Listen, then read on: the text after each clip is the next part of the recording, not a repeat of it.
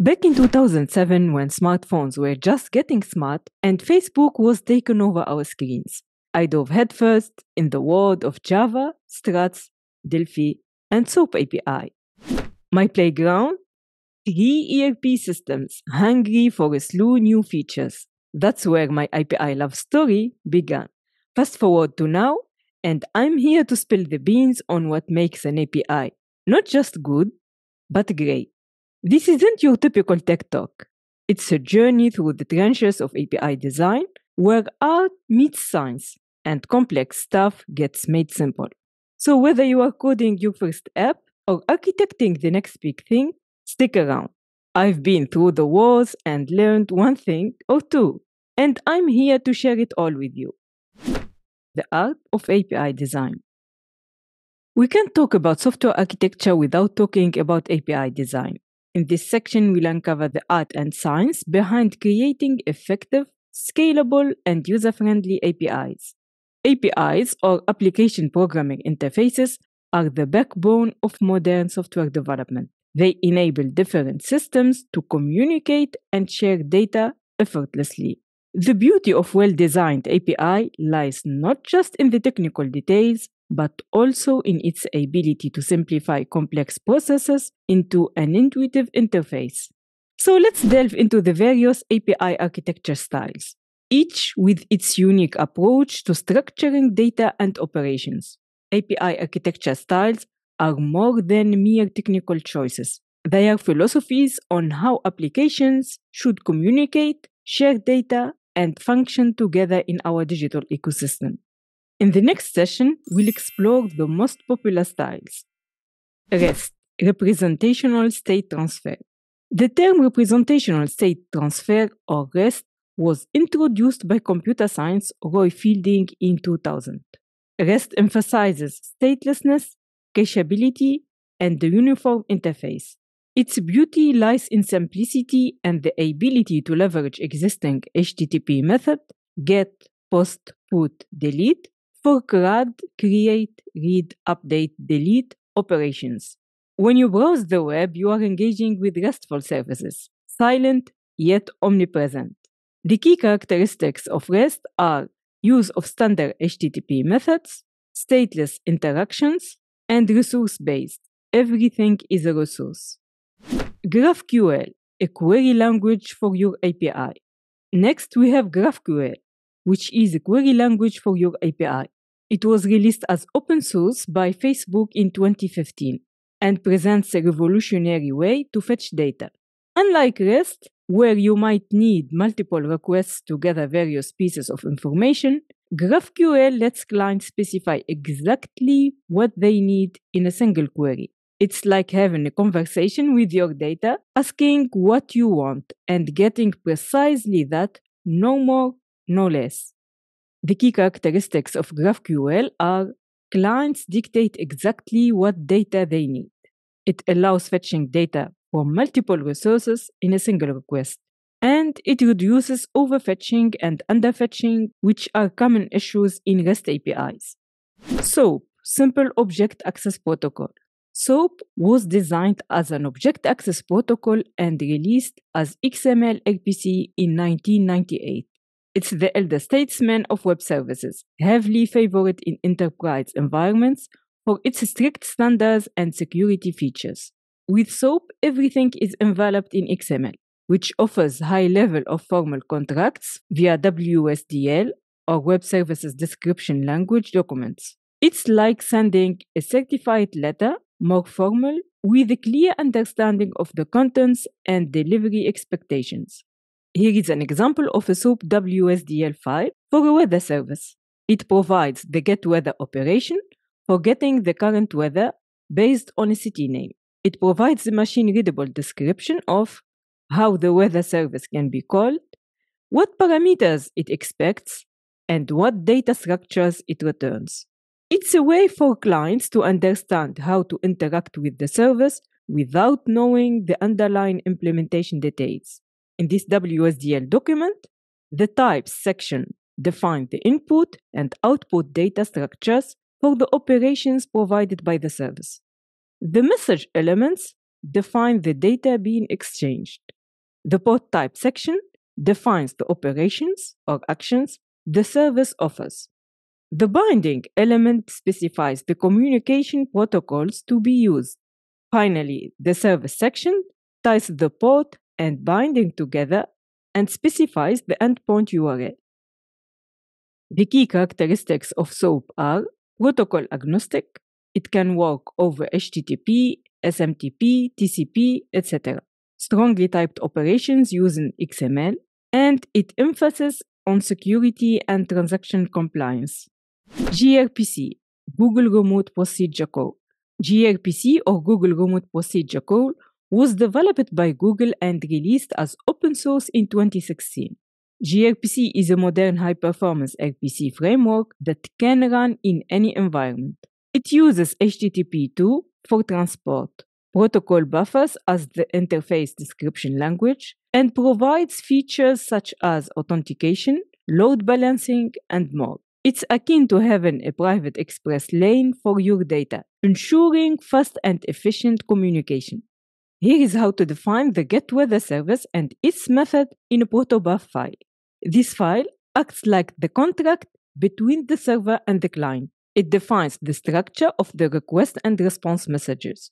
In this example, we define a weather service with a method getWeather.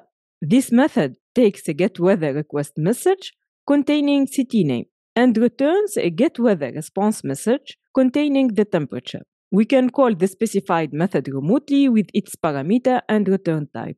Once the .proto file is defined, the protocol buffers compiler generates client and server code in your chosen language.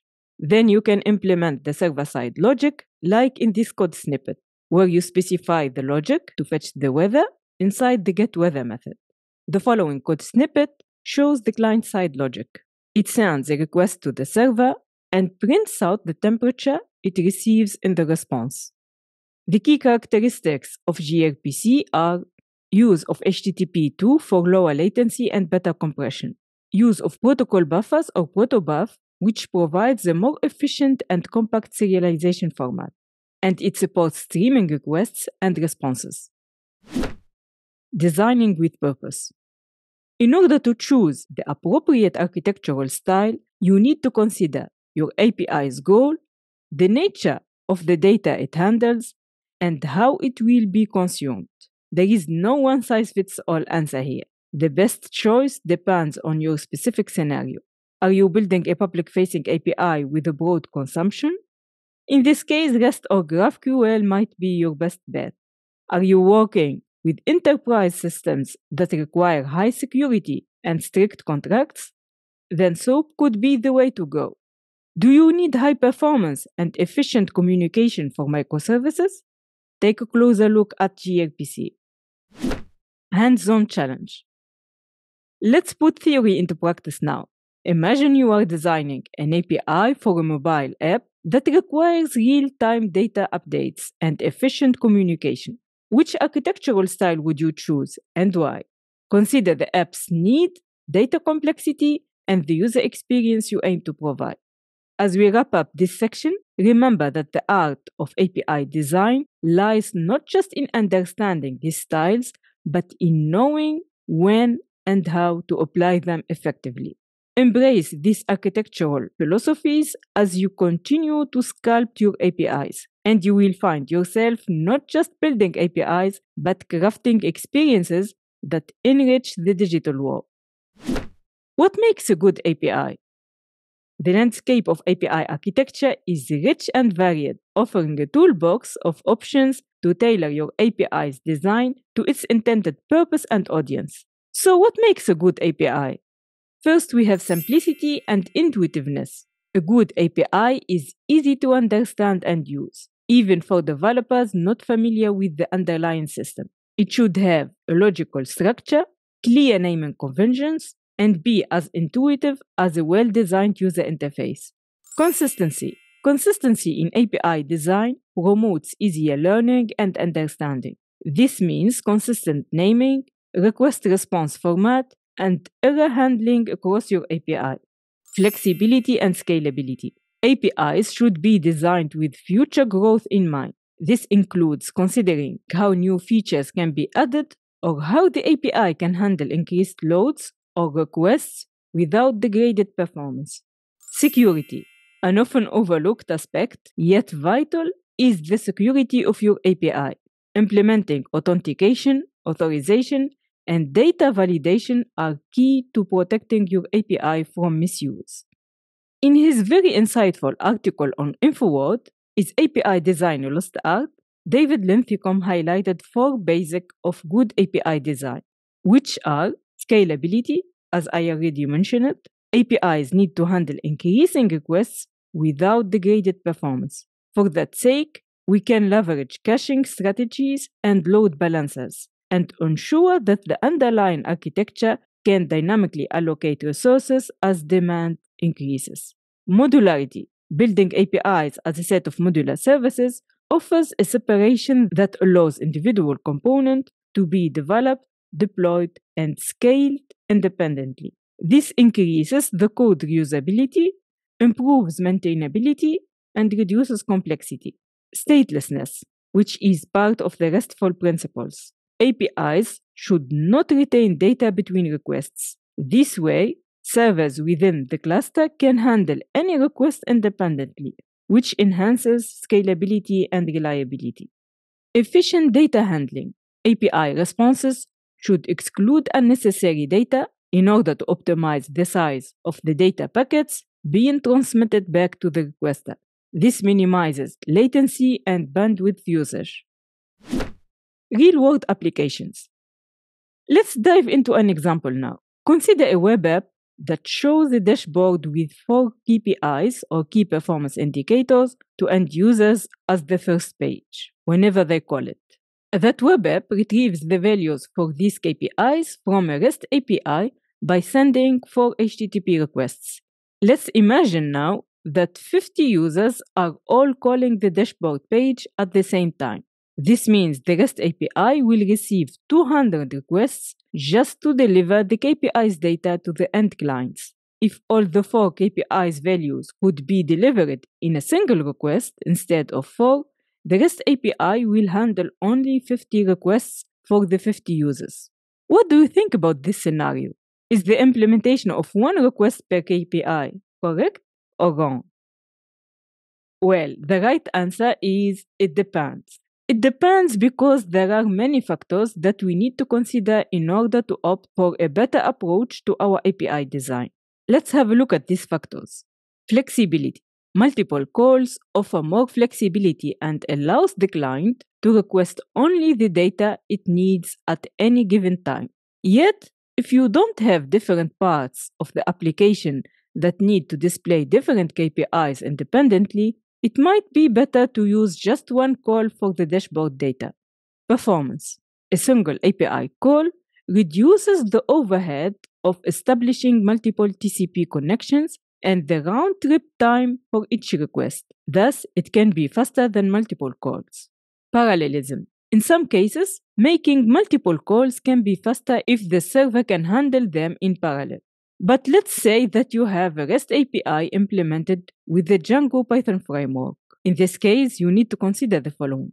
Django by default is single threaded, one request at a time. This can lead to performance bottlenecks when handling multiple requests concurrently, especially when the server is under heavy load. To handle multiple requests in parallel in a Django application, you can use a WSGI server that supports concurrency better, such as Gunicorn, UWSGI, or ASGI, Asynchronous Server Gateway Interface. Now, if we switch gears and look at a REST API built with Java, specifically using Spring Boot, the parallelism story changes a bit. Spring Boot apps are a whole different beast. Java's ecosystem, including Spring Boot, inherently supports multi-threading, making it easier to handle multiple requests at once right out of the gate. Spring Boot's concurrency model lets you handle tons of requests simultaneously without breaking a sweat. It's built to juggle, making it a strong contender for high traffic applications. Plus, with the right setup, Spring Boot can scale up to manage even more parallel requests thanks to the Java's robust threading and concurrency support. So while Django needs a bit of a push with a compatible server to handle the crowd, Spring Boot is more like bring it on. Simplicity. Multiple calls can lead to more logic on the client side, more methods, variables, and so on.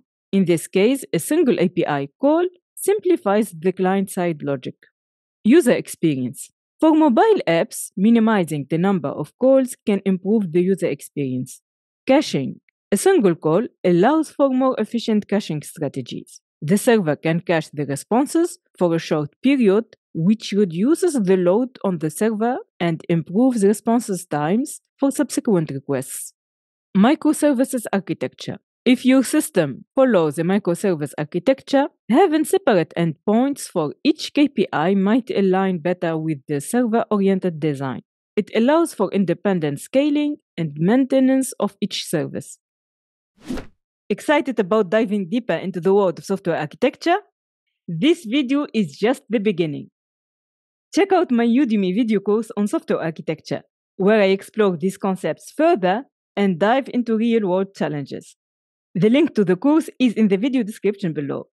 And here is a bonus. Subscribe to my newsletter and you will get free access to all my courses. If you found this video helpful, don't forget to hit the like button and subscribe to the channel for more updates and tech insights. See you next time.